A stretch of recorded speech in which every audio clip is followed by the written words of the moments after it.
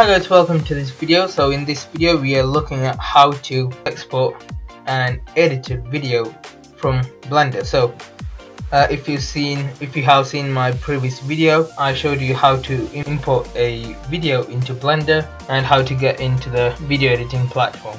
So today I'm just going to import a video real quick.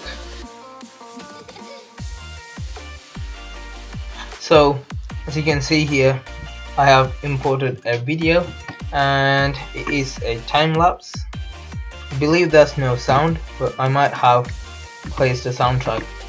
I mean yeah see you heard there there is a soundtrack. So to export the video you go to the um, screen layout icon and go to default default screen layout. So this is the default screen that comes up when you open up blender. So when you go through the timeline there is nothing in there. Before you do that make sure the end frame in here is set to the end frame of the video. I'm just gonna leave it at 250 for now because it's just a tutorial. I'm just going to do it real quick. Now as you're in the default window. Go to the render settings. So the icon up here the first icon that says render so you see the render there's animation audio this is the resolution. So you might want to set it to 100% or 50% you select 1080p but the resolution could be the 100% of that or it could be half of that.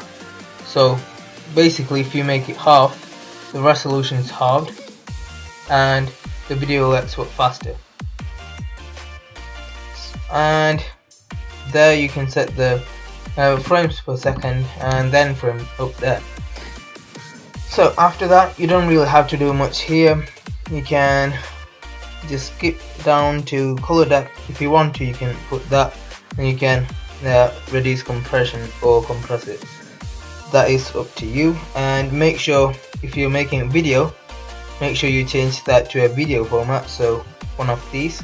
I'm gonna leave it at H264 and you go to output you set the output folder. I, I'm just gonna leave it on the desktop set and the last thing you need to do is you go to encoding. If you look at the audio codec it is set to none.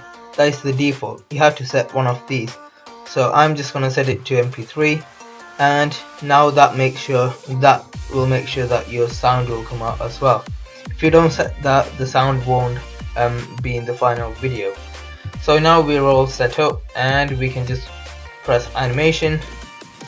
And the video rendering in blender is quite quick. You can see it's just flying through. And if you look at the desktop a file is being created and that is first frame to 250 frames. So it also shows how many frames being rendered so as you can see the video has been exported. The green bar from blender is finished and we can see the icon in the desktop as well. So if we open it we should be able to hear the sound and play the video as well.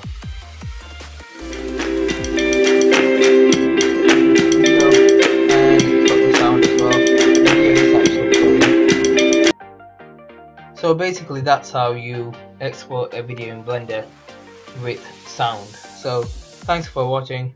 Check out my previous video and subscribe to my channel.